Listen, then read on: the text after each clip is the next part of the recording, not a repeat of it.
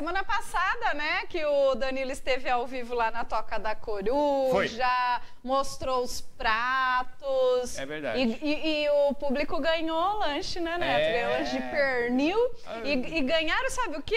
Ó o Leandro lá. Ó Leandro. Ganharam um Guaraná também. Que acompanhar o legal, lanche. hein? Ficaram felizes da vida, né, Leandro? Olha o Leandro lá com o lanche dele, Guaranazinho. Tava uma hein? delícia, viu? Valeu, Leandro. E a Silmara, a Silmara. Olha que linda. O, o. João adorou a sua coruja, Silmara.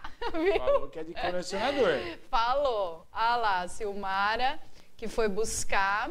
Que o legal, João, que legal. João querido mandou as fotos ontem pra gente. Muito bom, João. Obrigada. Um abraço. Toca da Cruz. Hoje, hoje é. Hoje é dia de Hoje é parmegiana. terça. Hoje é. Parmegiana da hora lá na Toca da hora. entendeu? É uma delícia, é uma delícia.